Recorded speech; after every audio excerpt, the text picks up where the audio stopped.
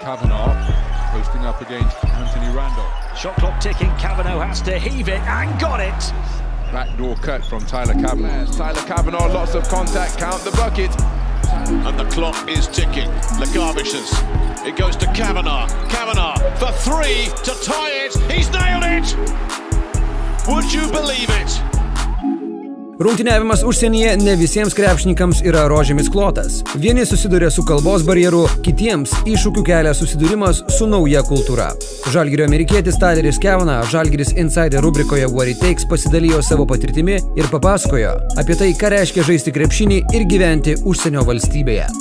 It's like a, a culture shock. I mean, it was my first year in Europe was in Berlin, and I mean, it was my first time ever being in Europe. So just being out of the States, hearing different languages, uh, different buildings, different food, everything. It was, it was a pretty big culture shock at first, but especially in Berlin, there was so much English and there was, it was just a very alive city.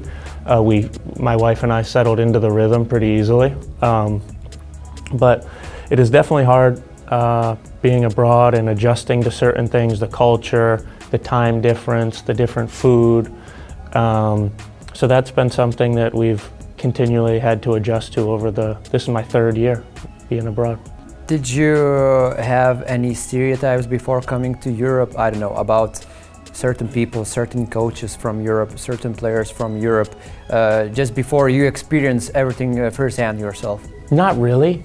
I mean, I knew it was really good basketball from what I had heard and spoken to people, but you don't know until you, you get here and experience it. I mean, I'm three years in and I'm still adjusting to the European basketball game each day. You know, it's just so much different than how I was taught to play in America and certain little things here and there. And um, but overall, no real stereotypes. It's just been you have to really embrace the whole experience from on the court, off the court, and really take everything in uh, to have the best possible experience.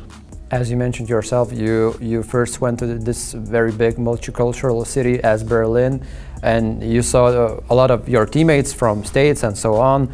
What was their first experience? Because okay, it's one to go to Berlin and to have everything uh, with uh, talk to you in English and so on, but there are other experiences. Maybe you can share some stories. Yeah, I mean, I was very lucky uh, to be able to go to Berlin and uh, but I know some, some of my teammates from college and other guys who've had to go uh, to play in lower level leagues and go to uh, Slovenia or Serbia. And there's the coach doesn't even speak English and no one, none of their teammates really speak English. So it was just a very isolating experience. And it's hard to last long in that setting. And and then I have a couple other teammates who went to teams in Spain and uh, they now they're fluent in Spanish um, so like you just hear about all these different experiences that guys have, and I was very blessed to go to Berlin first uh, to have the to be comfortable speaking English and to have that familiarity. And uh, but I've heard some stories about guys who have had it much harder.